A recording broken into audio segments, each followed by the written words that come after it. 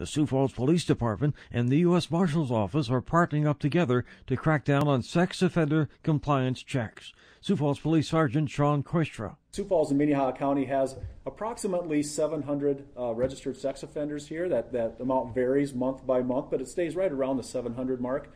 Um, that's a lot of uh, people that we need to go out and verify their addresses. And we do this by actually going out and doing that. Now, right now, the uh, responsibility for doing the address verification is on our patrol officers. One of the things that, initi- that this initiative does and how it affects the police department here is that it takes that responsibility from our patrol officers that are out there working on the streets. Um, it, it, takes that responsibility off of them and, uh, and puts it elsewhere. Scott Rostag is with the U.S. Marshal Service. We'll partner Deputy U.S. Marshals with Sioux Falls police officers in a coordinated effort to do compliance checks on a monthly basis for a year period.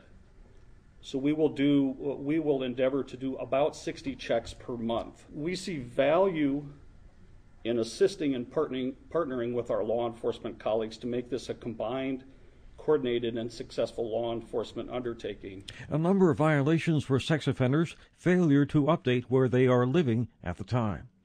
I'm Jerry Damon.